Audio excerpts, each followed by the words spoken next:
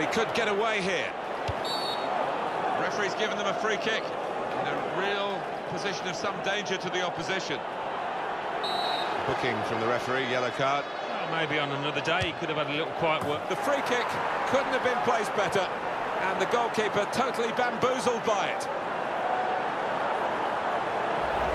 That's if he meant it, of course, because uh, the wall's jumped and it's gone under.